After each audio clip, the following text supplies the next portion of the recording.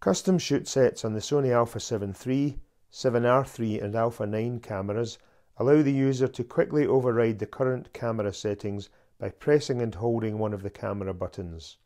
The shoot set can change some settings while leaving others as they are.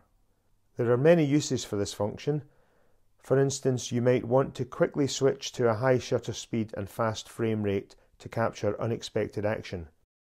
You can set up to three custom shoot sets in advance, menu tab 1, page 4, but here I'll show you a quicker way. A custom shoot set needs to be assigned to a button for recall.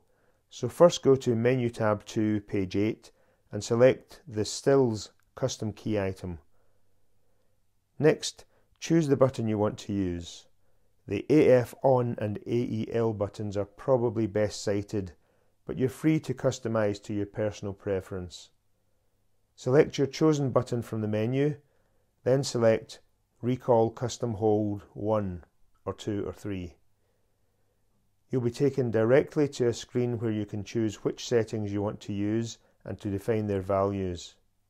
Any setting not checked will not change from what you are already using when you press the Custom Hold button.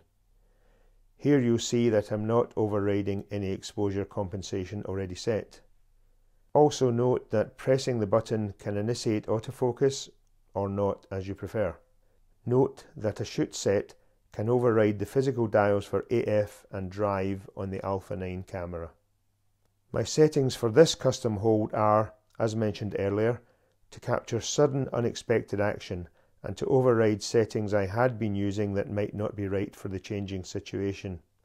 I've chosen shutter priority mode at 1 500th of a second, continuous shooting and continuous AF in zone focus, and automatic ISO.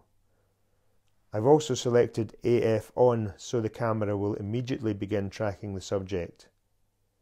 When you've made your choices, select Register and these custom settings are now instantly available at the press of a button. The previous settings are restored when the button is released. If you found this video useful, please like and subscribe and I'll make some more. Thanks for watching.